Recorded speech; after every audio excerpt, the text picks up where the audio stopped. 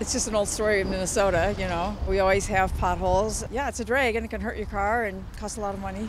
There's plenty of pretty bad roads. I think they're pretty bad when you're driving kind of fast and you don't know what's coming and there's a big pothole right there. I think they're kind of bad this year.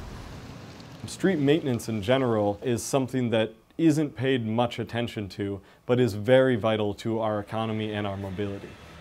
You know, driving over rough, potholy roads is hard on cars. When we start to see trouble is when uh, it thaws during the day, the sun shines on it, the streets get all wet, and then it refreezes. And the water is in those cracks. Because of the cracks, it heaves up, and then pretty soon you have a pothole. What Public Works is doing is that on the high volume streets, they resurface parts of the streets, which they say is the most cost effective way to both maintain the streets make a smoother ride, and fight potholes.